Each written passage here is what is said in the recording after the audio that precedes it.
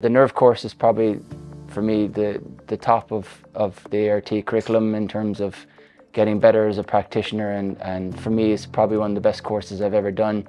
And I'm glad to see its evolution since when I first started. Those of you that done ART in the past or have heard about it, the, the nerve protocols used to be within the level one courses. And what they've done now is they've amalgamated, taken all the nerves out of the level one courses, which gives us more time to work on the muscle protocols. But the nerves are now together with the long tract, so you're, you're moving the nerve through its whole tract, uh, sciatic nerve, median nerve, radial nerve.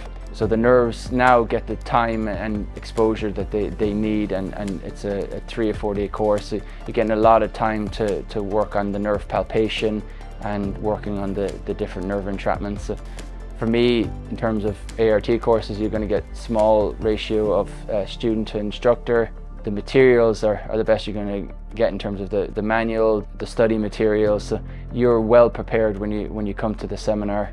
With the nerve course, I mean, the things that present to us on a very regular basis in practice, carpal tunnel, sciatica, you might see the odd pudendal nerve entrapment. So being able to effectively diagnose and then treat those nerve entrapments will lead to better results.